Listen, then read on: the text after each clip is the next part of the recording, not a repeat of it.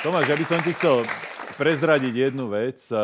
Prebehla naozaj len veľmi v úzkom kruhu nás, chalanov, ktorí sme hrali teda v Jeteborgu.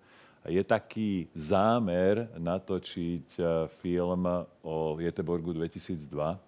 A medzi chalanmi, keďže o tom sme sa začali rozprávať, tak sme sa začali hadať, že teda kdo zna, koho z nás budeš hrať ty. koho by si teda hral?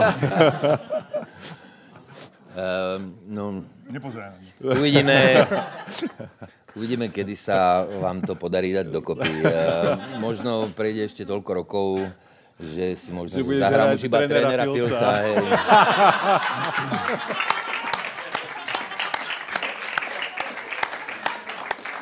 to je dosť možné, to je dosť hey, možné. Hey, ale ako, vy ste boli veľmi podarení aj počas majstrovstiev, ale aj po majstrovstvách. Tie štúdia, čo boli Jan Olašak úplne bez hlasu. Keď sa ho pýtali, ako vlastne proti Švédom chytil tu, ten, ten, ten gól, takto. tak to som sa smial veľmi ja.